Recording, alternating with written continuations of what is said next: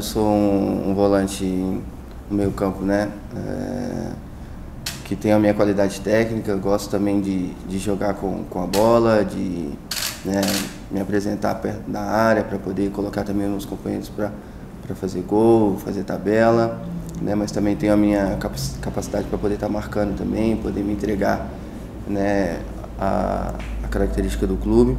Então mais ou menos isso. Acho que não teria lugar melhor para eu poder voltar para o Brasil, para me, né, me, me, colocar de novo no, no cenário aqui brasileiro, com, com um clube como Cuiabá.